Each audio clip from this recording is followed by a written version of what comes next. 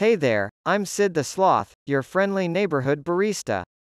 I may be a bit slow, but I promise to make you the best cup of coffee you've ever had. You know, being a sloth in the coffee business has its challenges, but my passion for serving the perfect brew keeps me going. So, take a seat, relax, and let me show you how a sloth can create coffee magic. Just remember, good things take time, and when it comes to my coffee, it's definitely worth the wait.